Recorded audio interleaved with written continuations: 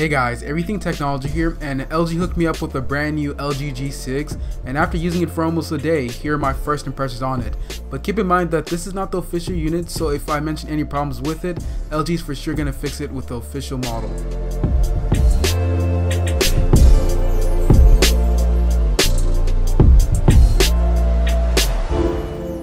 First off, the brand new LG G6 looks pretty different from its previous predecessor, but it still has that familiar LG design to it, especially in the back since you still have the dual cameras with the fingerprint sensor that doubles up as a home button.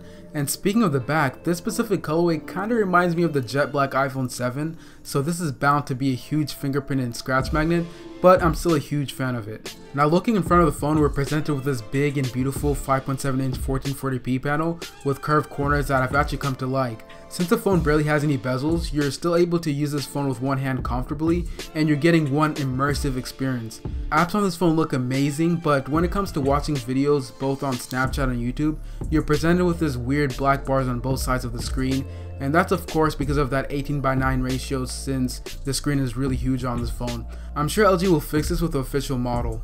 In terms of specs, since this is LG's latest, you're of course getting the greatest, and that is a Snapdragon 821, 4 gigs of RAM, and an Adreno 530 GPU. This phone can also be expanded with a micro SD card up to 2 terabytes, and the phone also has a 3300 mAh battery. Now looking further around this phone, we now have gray aluminum sides that make this phone feel considerably more premium than its previous predecessor. And also looking on the sides are the new separated volume buttons that feel kind of mushy, but I'm sure LG is going to fix this with the official unit. An awesome new addition to this phone is waterproofing. You can now submerge this without worrying about it being damaged. And another dope feature that we don't see in phones nowadays is wireless charging, so you can basically throw your phone in water and put it on a wireless charger.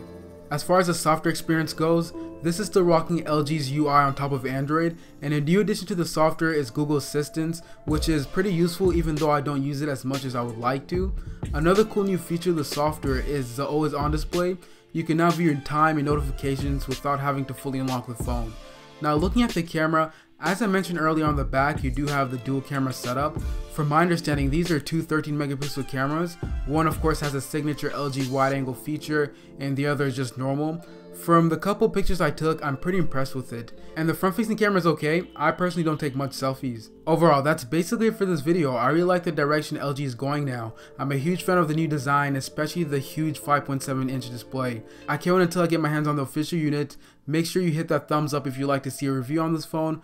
Comment down below if you have any feedback and check me out on my different social media sites. You can find me on Twitter and Instagram at EverythingTech5 and subscribe if you'd like to see more content like this. Bye.